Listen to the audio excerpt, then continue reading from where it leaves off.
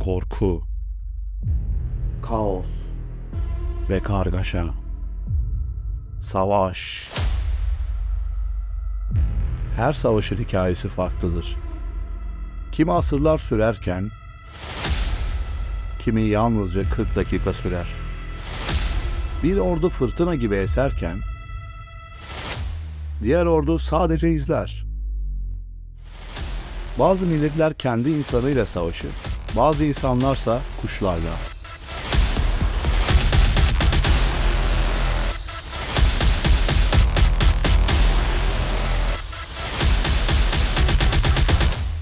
Evet, gerçekten kuşlarla.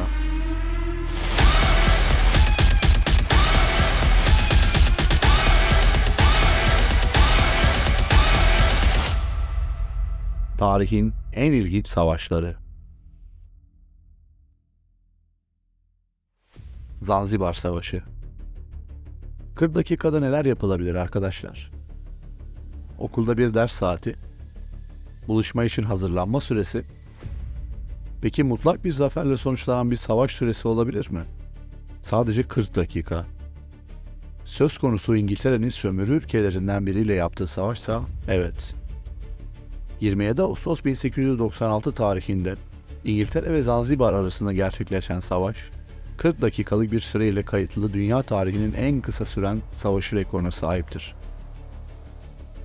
Savaş, İngiliz sömürge yönetimiyle istekli olarak beraber çalışmış olan Hamad bin Tuabini'nin 25 Ağustos 1896'da ölümünden sonra yeğeni Halid bin Bargaj'ın askeri darbe ile gücü ele geçirmesiyle patlak vermiştir. İngilizler Bargaj'a tahttan çekilmesi için bir ultimatum verdiler. Bargaj bunu reddetti ve 2800 kişilik bir ordu topladı. Kraliyet donanması verilen ultimatomun ardından saraya 27 Ağustos 1896'da saat 9'da ateş açtı. Düşmekte olan saray ve artan ölü sayısı nedeniyle Bargaç hızlı bir şekilde Alman İmparatorluğu konsolosluğuna sığınmış ve geri çekilmiştir. Açılan ateş 40 dakika sonra sona ermiştir. Netice itibariyle bir ders saati süresinde gerçekleşmiş, ders niteliğinde bir savaş olarak tarihe geçmiştir. Emu Kuşları Savaşı Savaş dendiğinde aklımıza genelde insanların birbirine karşı çıkardığı savaşlar gelir. Bu savaşı ilginç kılan ise insanlar ile emu kuşları arasında çıkmış olmasıdır. Birçoğu Birinci Dünya Savaşı gazisi olan Avustralyalı çiftçiler savaştan sonra Batı Avustralya'ya göç ettiler. Bölgedeki emu kuşları tarım ürünlerine zarar veriyordu ve bu durum çiftçilerin emu kuşlarına karşı bir savaş başlatmasına sebep oldu. Uçamayan ve hiçbir savunma yöntemi olmayan emu kuşlarına karşı yürütülen girişimler başarısızlıkla sonuçlandı. Bu vahşi savaşın kazananı ise ilginç bir biçimde emu kuşları oldu. Emu kuşları başarılarının tadını çıkararak bölgede üremeye devam ettiler. Ne savaş ama.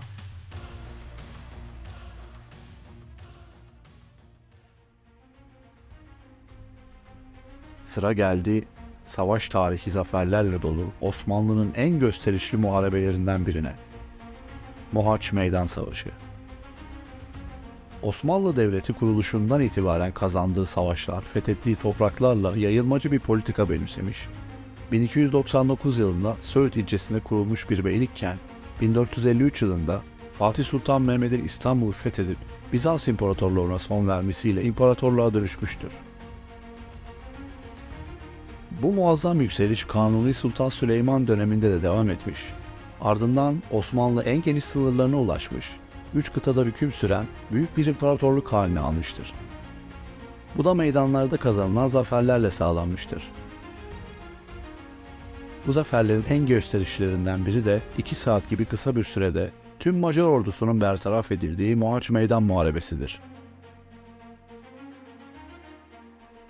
29 Ağustos 1526'da Osmanlı İmparatorluğu ve Macaristan Krallığı orduları arasında meydana gelen ve Macaristan'ın büyük bölümünün Osmanlı hakimiyetine girmesiyle sonuçlanan bir savaştır.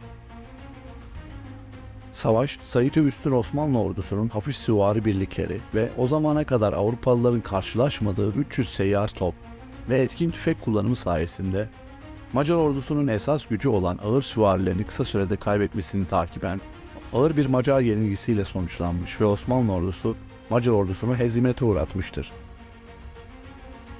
Bu savaş Osmanlı İmparatorluğu'nun tarihindeki en kısa sürede kazanılan zaferdir. Savaşın seyrini tüm boyutlarıyla anlatmaya çalışsak savaştan daha uzun sürecektir muhtemelen.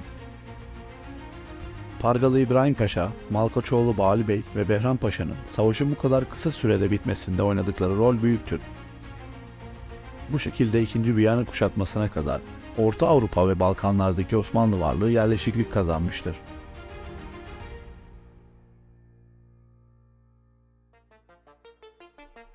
...335 Yıl Savaşı Bu ilginç savaş, Hollanda ve İngiltere'nin güneyinde 16 kilometre kare yüz ölçümlü, bugün 2400 kişilik bir nüfusa sahip olan Sili adaları arasında yaşanmıştır. 335 Yıl Savaşı 1651 yılında başlamış ve 1986 yılında son bulmuştur. Savaşın adından da anlaşılacağı üzere 335 yıl sürmüştür. Bu savaş üzerinden iki çağ, üç asır geçmiştir. 335 yıl sonra Barış Antlaşması imzalanmıştır. Bu özelliğiyle gerçekleşmiş en uzun savaştır.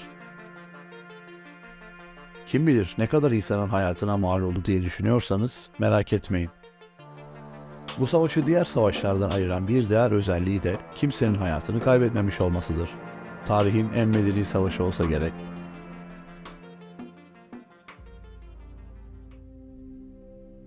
Veda Selamı 1861 Amerikan İç Savaşı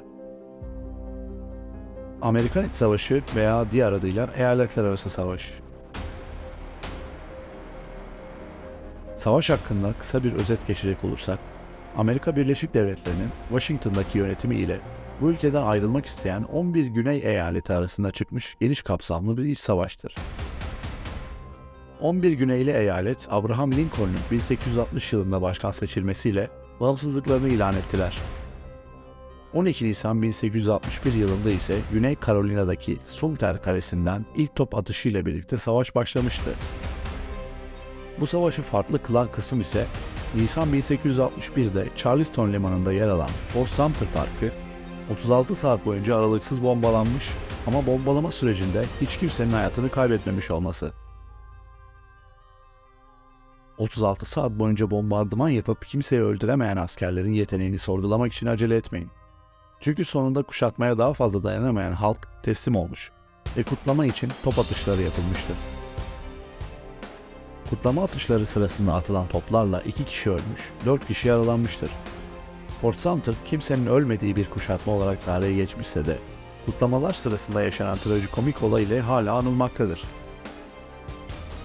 İç savaşın neticesinde ayrılıklı güney eyaletleri kaybetmiş, Amerika tek bir ülke olarak kalmayı başarmıştır.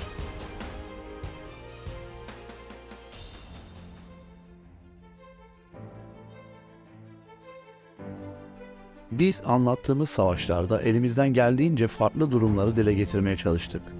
Fakat bu durumlar savaşların insanlık için yıkım tabloları olduğu gerçeğini değiştirmiyor.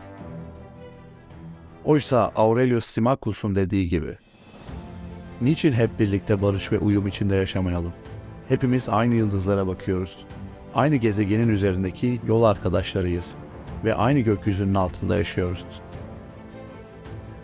Kendinizle bile olan savaşların barışla sonlanması umuduyla. Sağlıcakla kalın, hoşça kalın.